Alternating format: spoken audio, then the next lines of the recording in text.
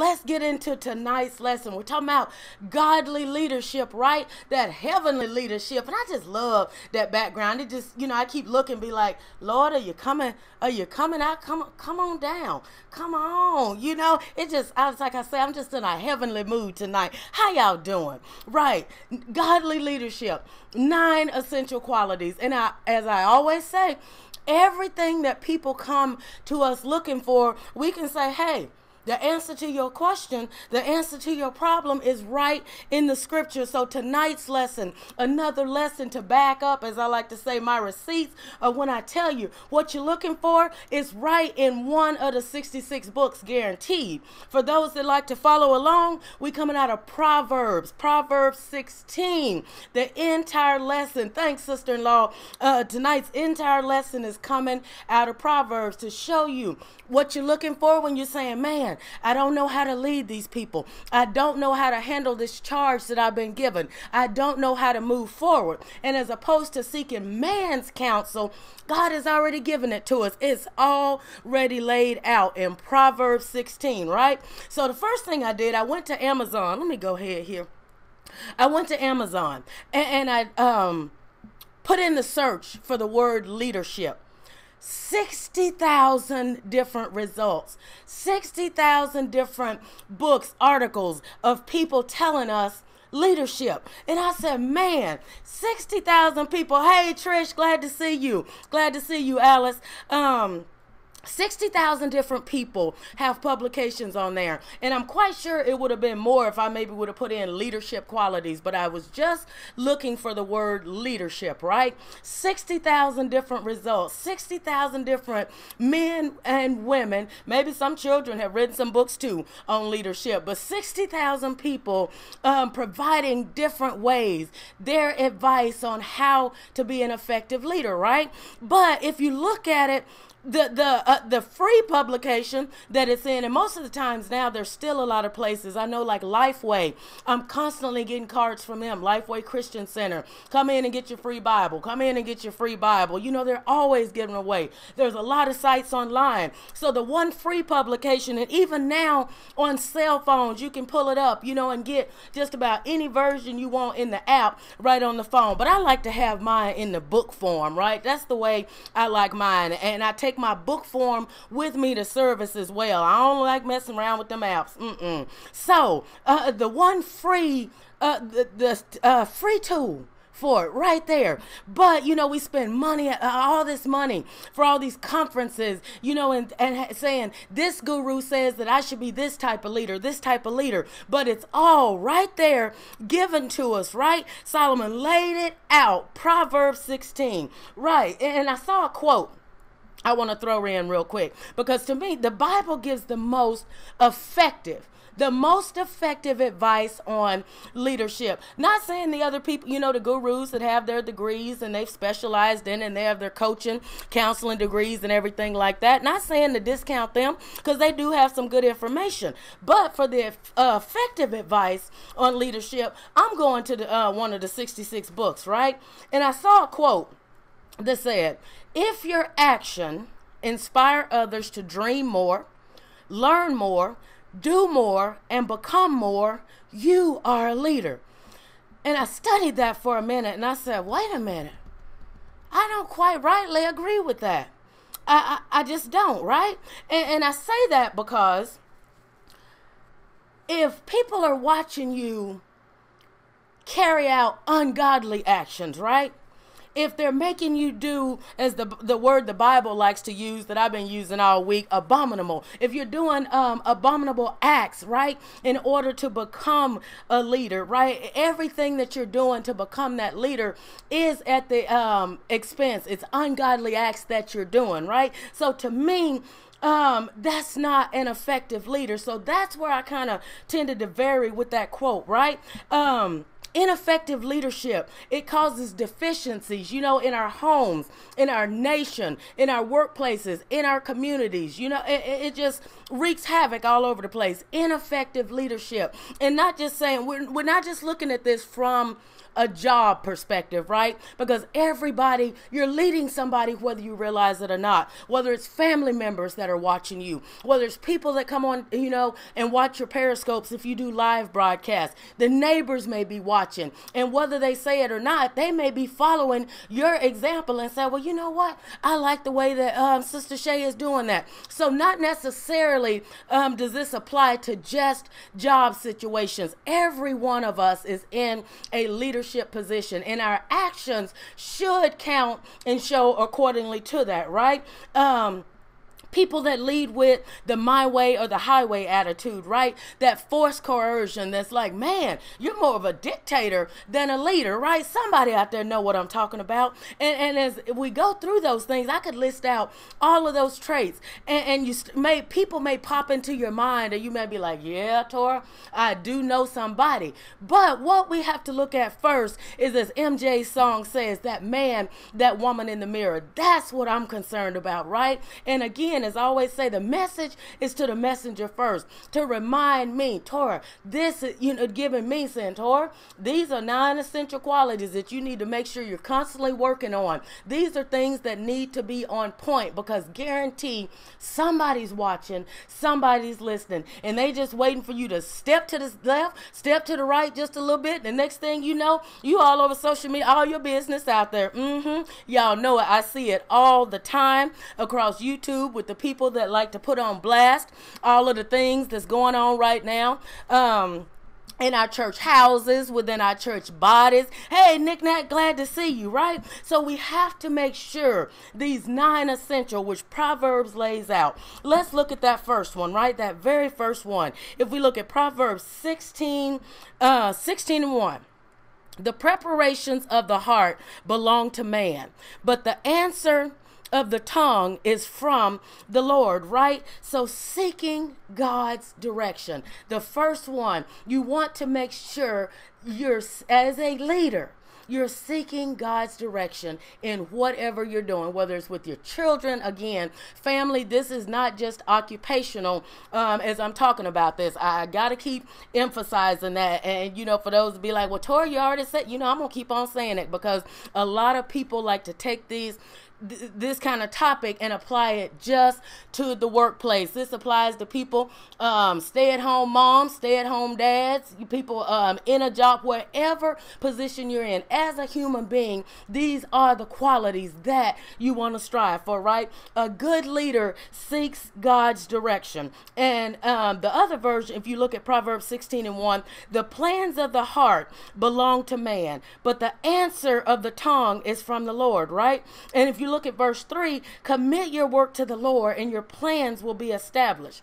If you bump down to 9, the heart of man plans his way but the Lord establishes his steps. A good leader seeks the Lord, commits his way to the Lord, and the Lord establishes his steps, right? So once we say, you know what, I could do this my way, but what is the godly way? What is the biblical way? I'm saying I'm a Christian. What is the Christian way that I need to make? What give me the direction I need to go with this plan, right? Because what they say, some of the best laid plans will lead you down the quickest road to hell. Amen. Somebody know what I'm talking about out there. Some of the best laid plans. Um, the next one, right? Let's look at number two. Modest and not arrogant. If we, if we look at 16 and 5, everyone proud in heart is an abomination to the Lord.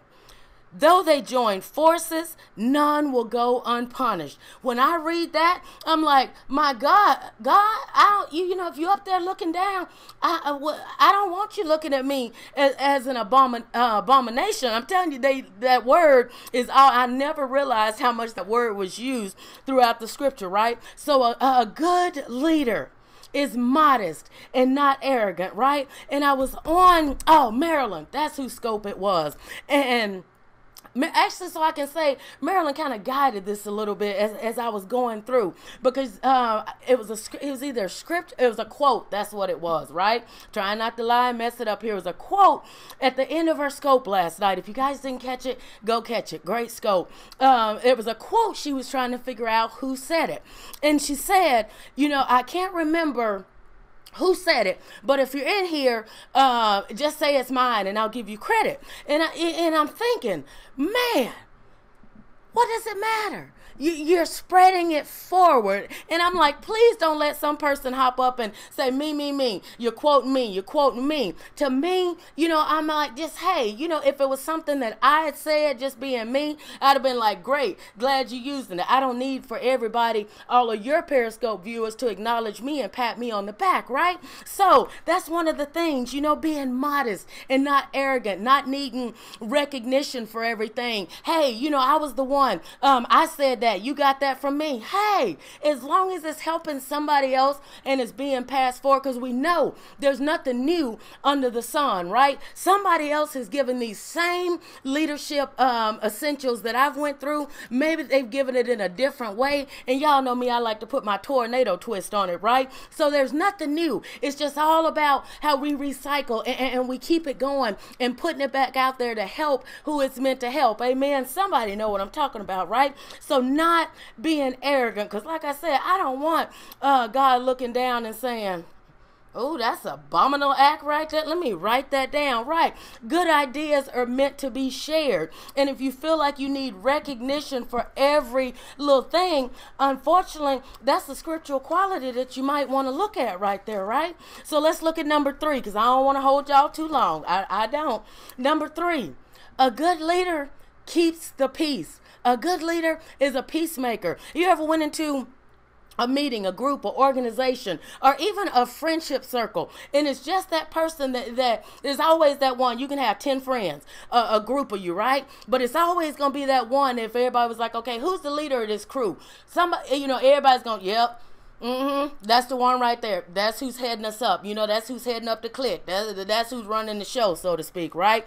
So, but you want that person that's a peacemaker, a peacekeeper, right? And, and, and as the scripture tells us, we want to um conduct ourselves in the manner, in the image of God, right? And what's the song say? He's a waymaker, he's a peacekeeper, he's a peacemaker. So we want to be a peacemaker. Ain't nothing wrong with being a trendsetter, but you don't need to be worshiped for. Amen. That's what I'm trying to say, plain and simple. It doesn't require all of that acknowledgement. It doesn't need a billboard saying, you know what, Marilyn used my quote, y'all. Well, you know what, I heard, I saw Marilyn uh, post up something I said, and she didn't even give me credit for it. You're messaging 500 people. You're taking screenshots. Look at her. She copying off of what I said. Come on now, somebody.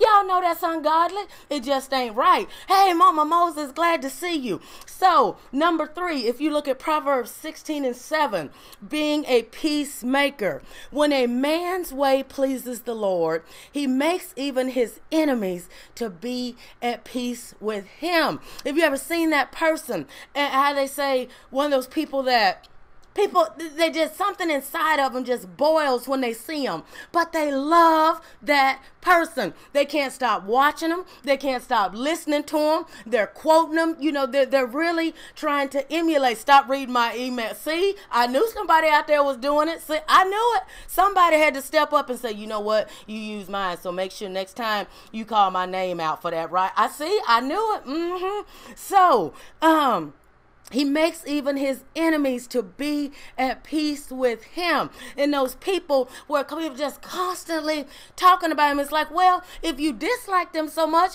why are you constantly talking about them? Why are you constantly posting about them, sharing their stuff, going to their events? I just. I just don't understand it, right? You, have seen that situation, or you yourself may be in that situation, and yeah, it's a few people I really don't care for, but I just can't. It's just something that draws me to them. He makes even his enemies to be at peace with him. And people can't understand, like, why can't I get away from you? What is it? I just I need to get away from you. I, I just like you. I don't like you, but I like you. I don't. No, it, it makes people confused, right? So uh, that's what that uh, piece of uh, passage of scripture is telling us, right? Um, and, and when you've lost that ability to emphasize with other people, um, it's like almost now compromise has become a bad word, right?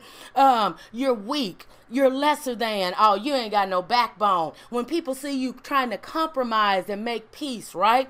And, and, but remember, if you caught my scope last night, I talked about the five types of people that our heavenly Father chooses, and one of those was the weak, right? So that's one of the things. Remember when I say when people people say that about you, uh, when people say you weak, be like, thank you, thank you, thank you, because I remember, mm-hmm, I remember seeing in the scripture said that's one of the types that God chooses. That's what God is looking for. The weak, the modest, right? The ones that are willing to compromise and keep the peace. But nowadays, uh, when, you see people trying to keep peace, people have put such a stigma on that. And it's like, uh-uh, it would have, I wouldn't have let them do that. If they didn't do it my way, we wouldn't have done it at all. Uh, done it at all. Again, therein lies part of the problem. And that's not how any of this works. It's just not. I don't care what anybody tries tries to tell me, and if somebody tries to tell you, be like, mm-mm, that's just not right, and I'm not going down for that, right?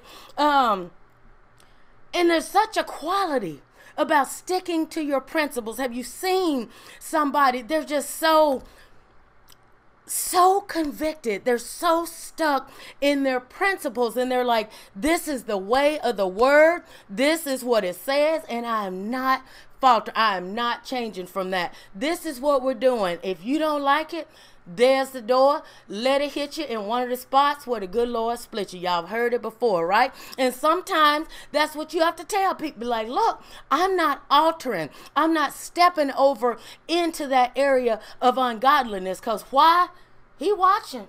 He watching. I'm not stepping over into that. There ain't nothing you can do or say to draw me otherwise, right? Sometimes people say they look at the boldness of us standing in our convictions and saying, No, I'm going to do whatever it takes to keep the peace. They look at that as a coldness, right? They say, Oh, you just cold. I can't believe. Mm Mm-mm. It's even colder to sit there to me and say, uh uh-uh, it's either my way or no way. But when you're trying to come to a compromise, a nice, even solution just to keep the peace and move on. That's number three, right? Let's look at number four. If we bump down to Proverbs 16 and 8, Better is a little with righteousness than vast revenues without justice.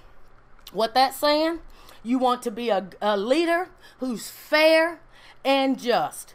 Better is a little with righteousness than great revenues with injustice, right? Having goals, working hard towards those goals. But the end, how did I put this? The end always justifying the means is simply not true. If the means in which you've obtained those things were unfair and unjust, is it worth it?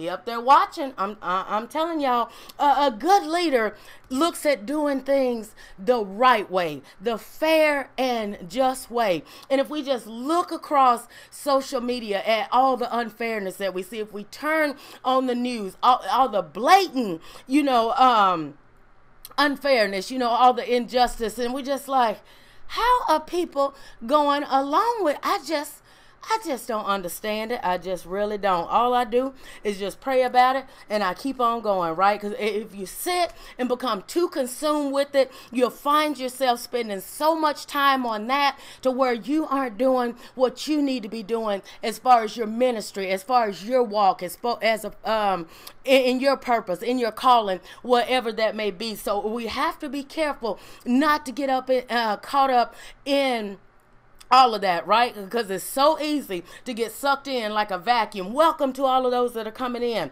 Uh, let's look at number five.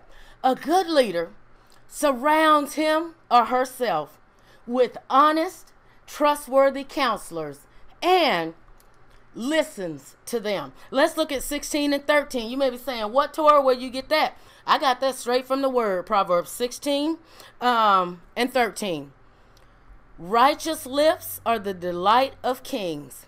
and they love him who speaks what is right. So you want to make sure you're also around a council of people that have the same godly leadership thought patterns, the same qualities, right? Because if you're running, my daughter, mm, my daughter and I were having this conversation before she left a little bit ago.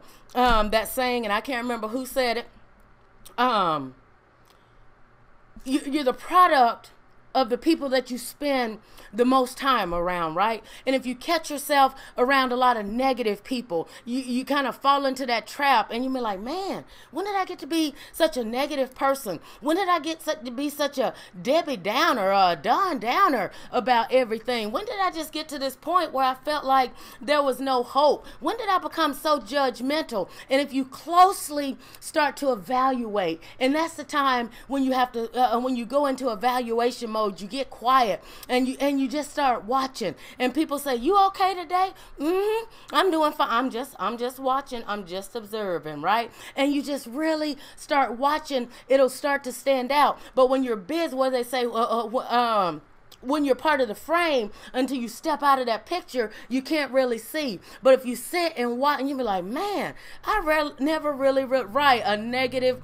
nancy. And people will start when did you get to be so negative karen? And then you start to question be like now when did this happen? And then you look back and if you just look within your circle of people or the things that you occupy your mind and your time with. If you sit i remember at one point I was watching uh, like a lot of the gangster movies and, and all of my actions, the way I would even talk, and I'm like, why am I talking like this? This is not me.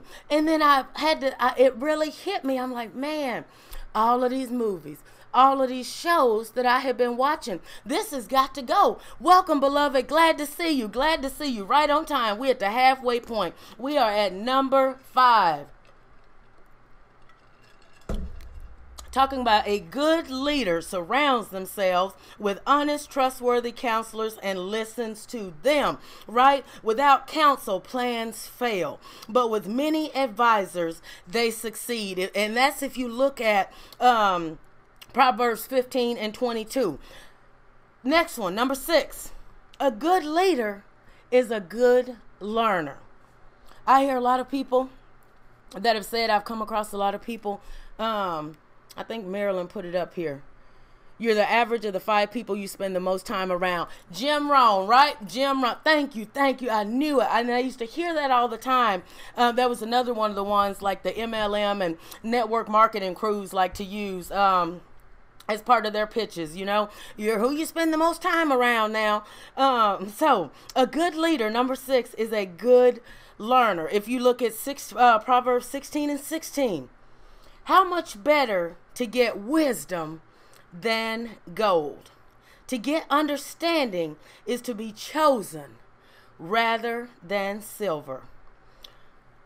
And if you think about when we went through last night, being chosen, one of the chosen, having those five characteristics out of the scripture that we broke down that God looks for, right? Go back. If you missed it, go back and, and pop in there. Wasn't too long. I believe last night was about 30 minutes or so.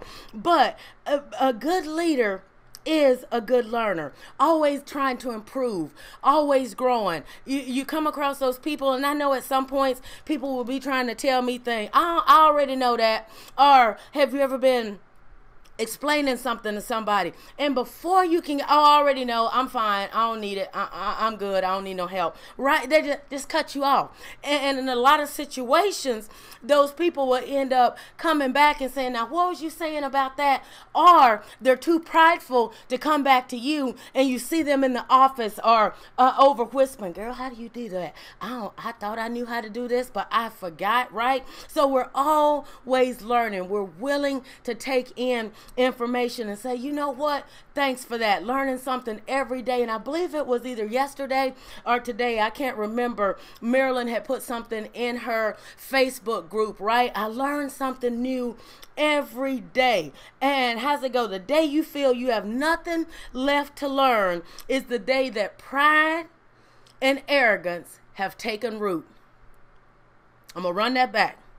The day you sit and say, I don't have nothing else to learn.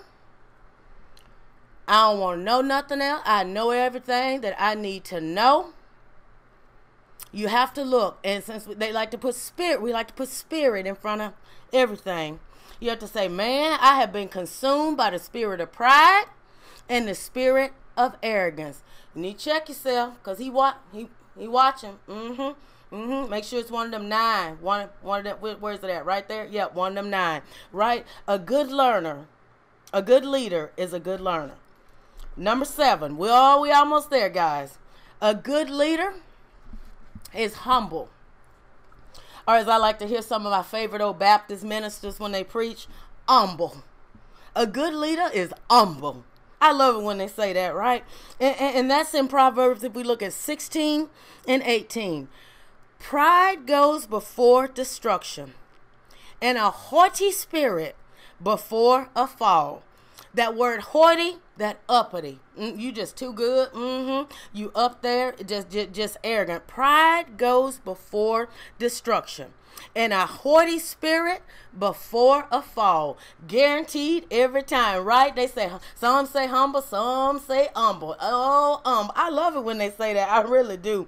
Um, you know, if from if you look from politicians to celebrities, CEOs, pastors, a lot of pastors, gospel singers, all types of people.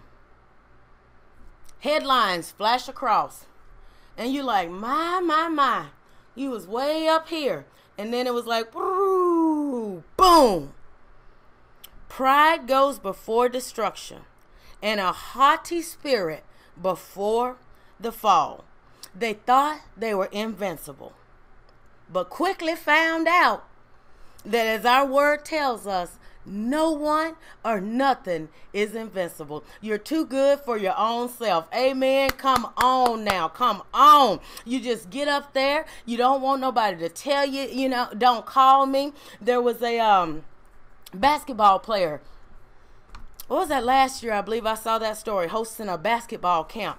And I was so utterly disgusted when one of the parents came on and her son was at the basketball camp and the kids were instructed when you see so and so don't try and touch him don't try and speak to him don't ask for his autograph wait a minute you had these parents to pay outrageous amounts of money to send their kids to your basketball camp but these kids can't talk to you. They can't touch you. They better not ask for no autograph. Man, what in the holy hot pepper? I just, I was truly appalled, truly appalled, and I'm just calling out the sin. Rarely will you hear me um, highlight the name of, uh, of the person. They, they, they, don't need any more recognition than they already got. They're a little bit too haughty already. But and that's how we need to start handling this thing, right? We spend so much time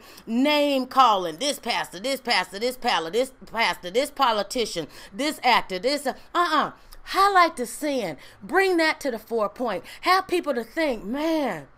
I never realized that. I never caught that trait. I never caught that character. Then you can start to get a rope and a wrangle on the problem. But the more you highlight a person's name, even though they can be doing the most ungodly things, when people start to research people that are um don't have the strength or resistance to say, you know what, right, right, the holy, what in the holy hot pepper? That's my new saying this week, y'all. The holy hot pepper. Um, uh, and, and, people go and they get caught up in that. And the next thing you know, they become a follower of that person, a fan. And they're like, oh, I completely forgot I went over here uh, because somebody dished out the tea on such and such person. And you end up one of the, you know, you just get caught up in it. I'm telling you, you got to watch yourself. Watch yourself, right? So we point out the sin. There was another one I was living in Florida.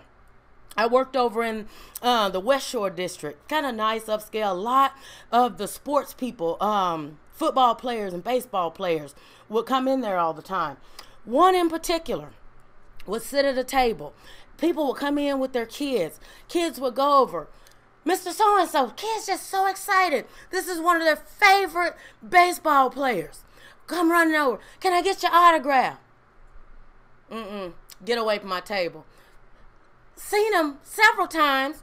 Look directly at the parents. Come get your child.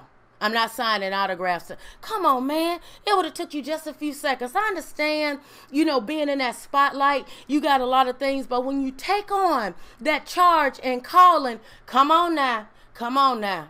You know, God has handed it to you, but you can't take the time. You've gotten so haughty and so high that you can't take a few seconds to just do a little signature on a little napkin or to pat the child on the back or the person just to say, hey, now I know some people take it to the next level, you know, and they start breaking in these people's houses, scaling walls and fighting alligators to get to these celebrities and stuff, but that's a whole nother issue right there. That's a whole nother spirit. So, um, Let's look at number eight real quick. Two more to go.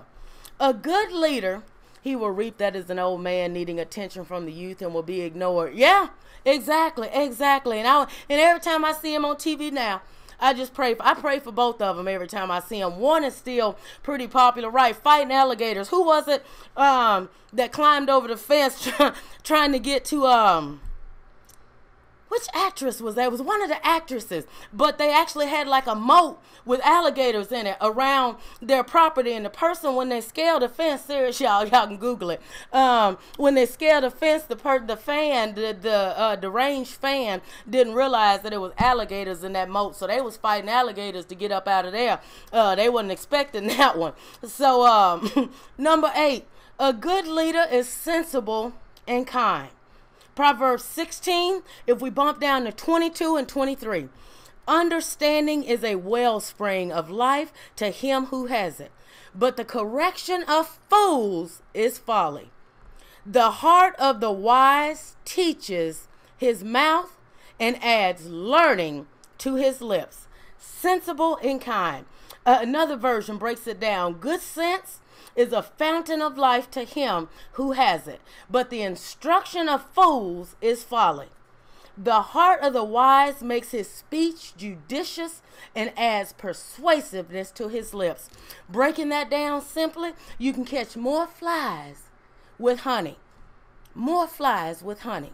Have you ever went into you're trying to have a conversation, you're trying to convince somebody, but you have that person that feels like the yelling and screaming and taking over the conversation and the bullying and the bulldozing of other people is going to get them what they want, right? No, no, no, no, no. You can catch more flies with honey. I even tried it one time. Put some honey out there and something and watch how many flies come attracted to that thing, right? Put some vinegar out there and ain't none of them coming to it. So when you try and do things with vinegar as opposed to honey, taking the long route, and that's not how any of this works, right? So, a good leader, sensible and kind.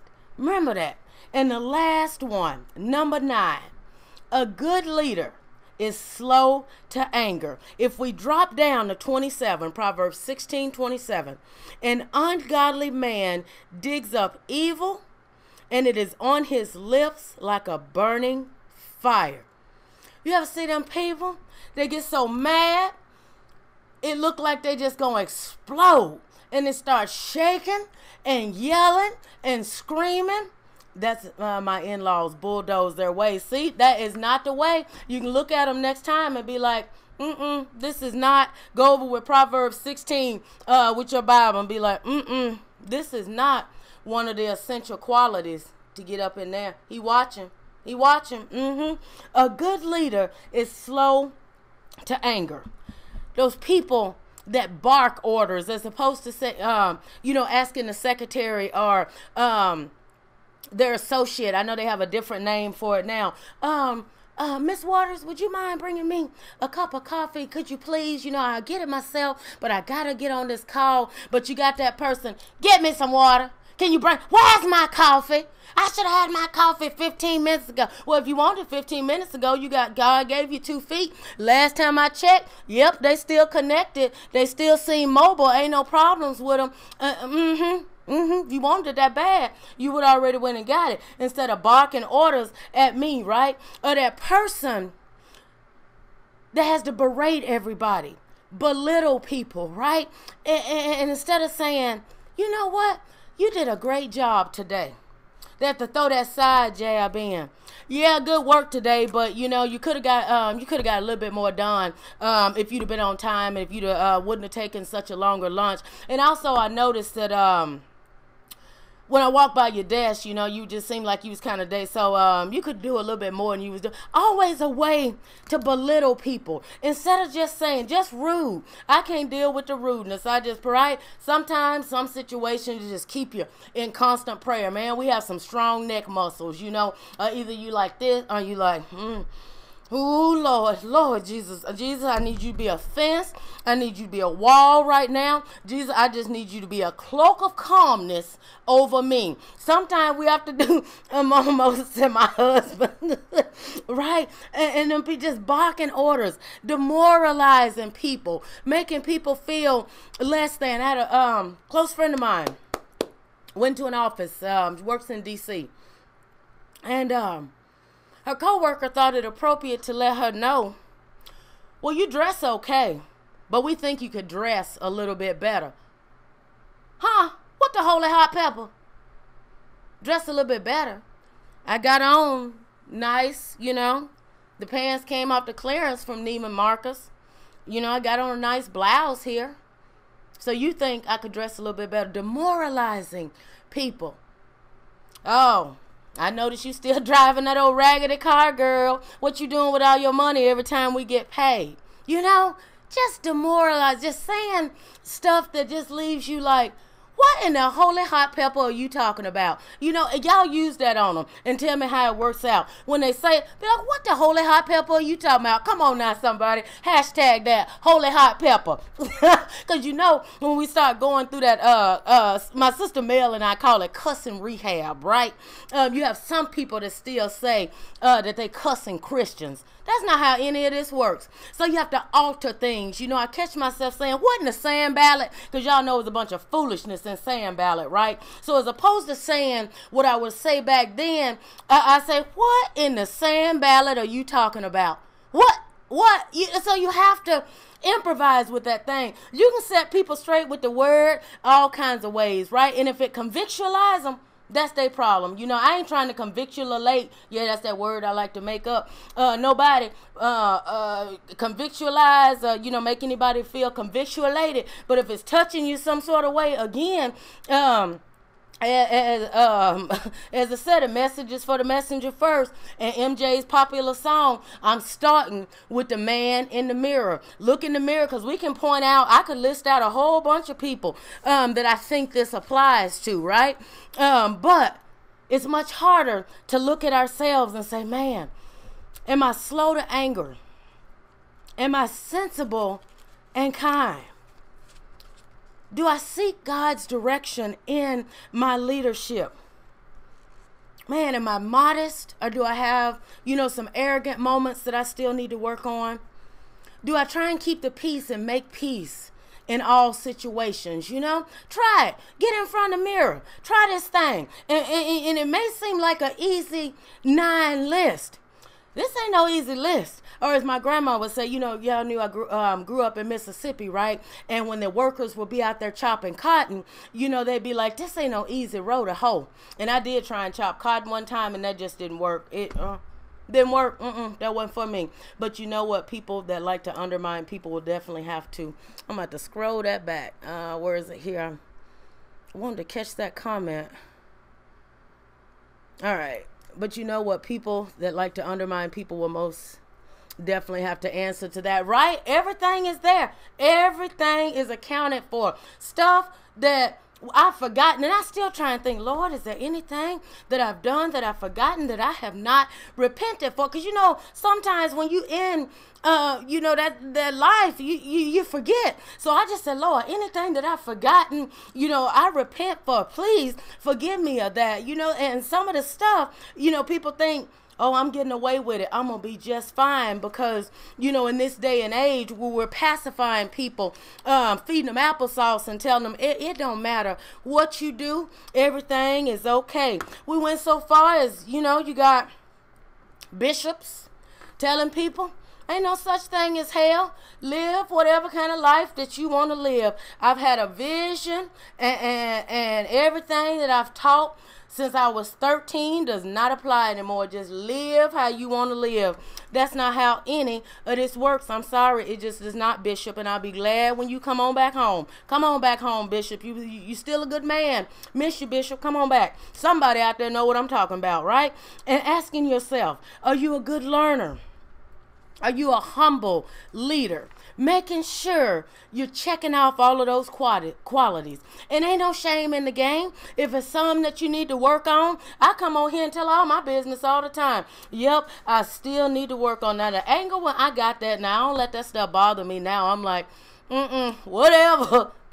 Uh-huh. Mm-hmm. That, that's that's your problem. You the one got the problem with it. I'm just telling you what it says here, and I'm just living uh, how I'm called to live. You need to figure out what you want to do. That's the way I deal with that one with people. You know, but uh, all the time making sure instead of when I get these brilliant ideas in my head, making sure I say, "Oh, wait a minute," instead of just running, slowing down, hitting the brakes, and saying, "Wait a minute."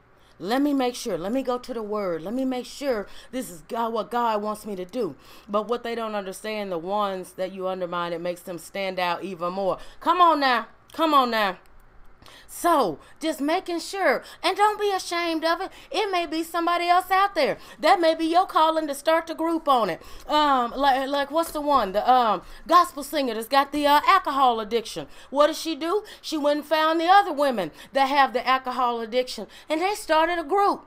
Didn't try and hide it. Put it on Instagram. They started a group. Anybody out there just got to echo, yes, I'm singing the gospel. I'm evangelizing the gospel vocally, but I have an alcohol problem. We try and hide these things, and, that causes us uh, to fall off. Because, like I said, you can only um, put so much. Uh, white paint down the side of a horse. Eventually, it's gonna rain, and you're gonna look be like, "Now you done tricked me like that was a zebra all this time, and that's been a horse."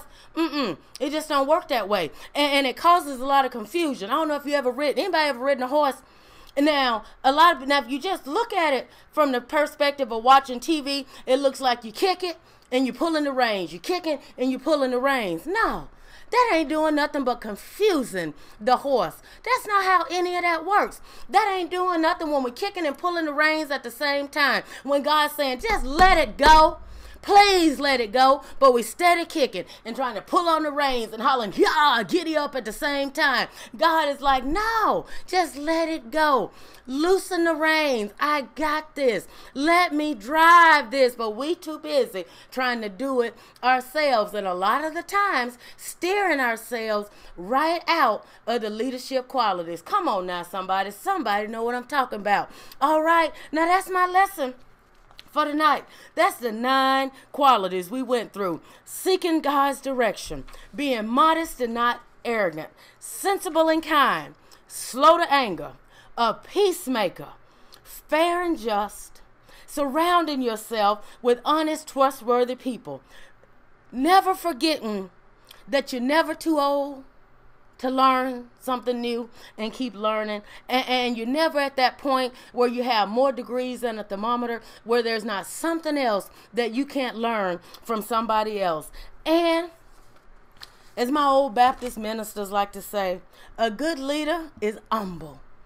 Being humble. What Kendrick Lamar says, sit down Stay humble. All right. That's my message for y'all tonight. I love y'all. I really, really do. And as I say, hey, when, when it sounds, I want all of us to be heading up there towards that upper room. Somebody, yep, right on up there. Uh, what it said, many mansions are waiting for us up there. Up there tidying and cleaning. And what was it? Mary and Martha, right? So I know she up there, uh, who was it sitting at the feet was a Mary. So I know Martha up there getting everything ready. She getting Karen's um, vegan items ready. She get making sure Sandra gonna have her vegetarian items when she get up there. Uh, for the ones that like the ham hocks and the collard greens and all that, the cornbread. Everybody, they getting it all ready for you. Gabriel up there, he's shining it. He getting everything all ready making sure the streets all swept off, everything look all nice. I want to go see. I'm nosy. I am. I really want to go see. Because they say, you know, um, what's that saying? Uh, Ain't no way to go but up. You got that right. I want to go up, up and down. Mm-hmm. Up and there. Uh-huh. That's where I want to go. And I want y'all to go too. Because I want to come over and see what you got in your house, Mary, and be like, girl, what did God put up in your kingdom? Let me see what you got. Mm-hmm. You got any of that palm wine and that fresh skin, girl? Give me some of that. Y'all, we going to sit around and have a good old time, right? I'm going to pop up out of here until tomorrow night. Oh, I got something special for y'all tomorrow night. Mm-hmm. Yeah. Make sure y'all here tomorrow night. Y'all might want to text two, three, four, five, six, seven people and be like, Tora says she got something for us tomorrow night. Mm-hmm. We might have what we uh, call little church tomorrow. All right. I love y'all. I really, really do.